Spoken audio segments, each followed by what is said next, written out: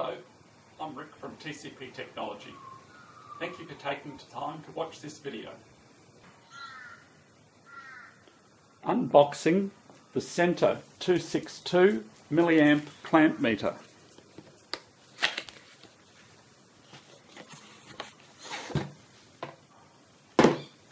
The unit comes in a little pouch. have the device itself.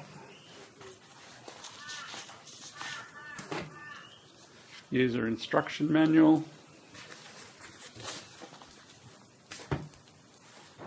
Pair of batteries. And when they want to come out, there we go. Quality set of test leads. They feel very nice.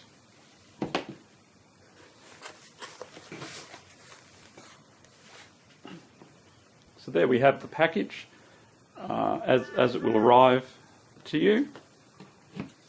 the device itself, um, as the name says, it's a milliamp clamp meter or high resolution clamp meter. So 0.1 of a milliamp resolution is the key feature of this device, both on AC and DC milliamp or clamp current. So other features on the instrument, um, AC voltage, DC voltage, ohms and continuity test built into the instrument as well. So really it is a general purpose multimeter as well as the clamp meter function.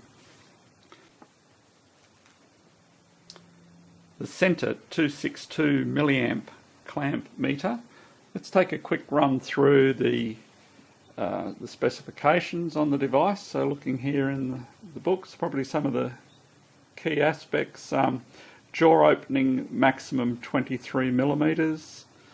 Uh, the device is very light, 262 grams. So DC voltage up to 300 volts with a resolution uh, 0.01 and 0.1 of a volt. AC voltage range up to 300 volts. Direct current, so this is now in the uh, clamp meter functionality, up to 10 amps um, with 0.01 of an amp resolution there at the 10 amp range down to the 300 milliamp range with 0.1 of a milliamp resolution. Up to the next page, the alternating current um, up to 20 amps, 0.01 of an amp at the full uh, highest range, and again down to 0.1 of a milliamp on the 300 milliamp range. Resistance, uh, 0.1 of an ohm is the most sensitivity, greatest sensitivity up to 500 k ohms, and continuity uh, anything under 100 ohms will beep, continuity beeper. Uh, so yeah, there's specifications. Um, so this device, um, just under $350 here in the Australian, uh, in Australian dollars, the Australian market.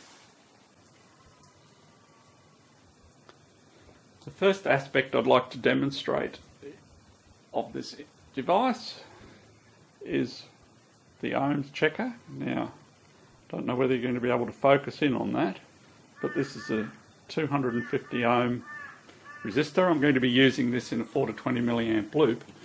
Uh, so let's just check the resistance setting. So there we go. It's telling me 250.2. Let's look at the DC milliamps uh, function on this device. Uh, so we've got a voltage current calibrator here that'll do the milliamps for us. We've got the 250 ohm resistor in the loop um, simulating a device under test. So let's turn on to DC milliamp function. We'll pop the clamp through one of the wires and do reset, zero reset. There we go. Now, turn on the simulator. There we go. Set to 4 milliamps and showing 3.94 milliamps. Yep, within a whisker there. 4 milliamps. Let's wind it up to 8 milliamps.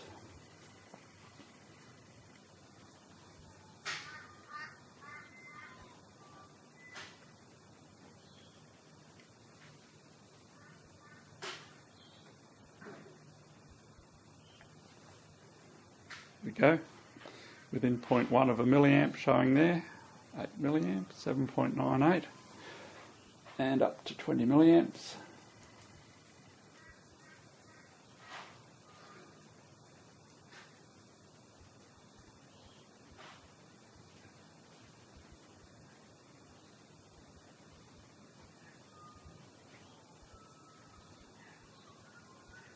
Okay, slightly further behind there, but um, still very close, within a few points of a milliamp.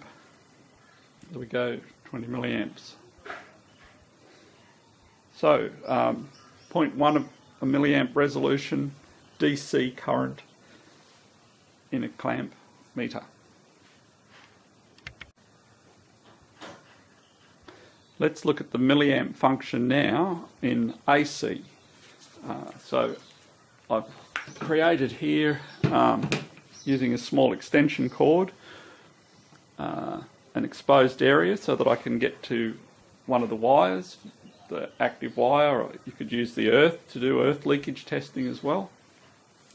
Um, so just as an experiment I'm going to plug in, uh, well let's turn on our clamp to AC milliamps. Let's pop the clip around the active wire. So we're set up there. Oh, you can't see it. There we go. Now, I've got computer power supply, no computer. Just wanted to see what the trickle current is when there's actually no computer running being charged. So there we are, plugged in. 22.5 or 6 milliamps being drawn through the computer charger with no computer plugged in. So if you ever wondered how much that drains if you leave a device running, there's your answer. Now, let's check for something with a bit more current draw behind it. So I decided to uh, try my wife's hairdryer. I figured that would draw a bit more current than other things I had floating around. So plugged in and so there we go, that's another indication. Simply plugged in, we're drawing 8 milliamps. And now this will probably get noisy, let's turn it on.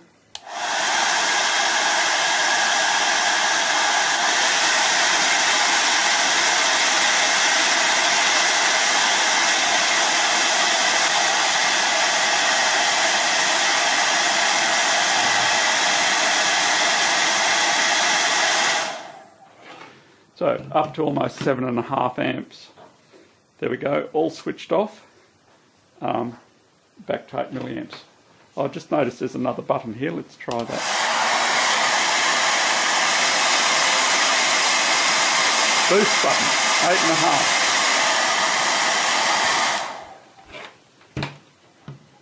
So there's a boost button there as well and uh, took it up to eight and a half amps. And now we're back to the trickle current there of eight odd milliamps.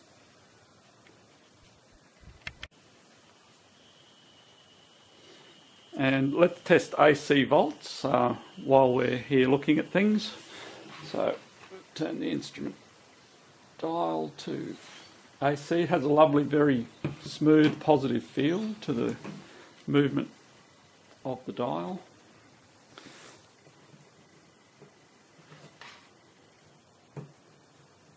Active and neutral in position. We've got 248 248.56 thereabouts volts. Um, so, yeah, voltage seems to work.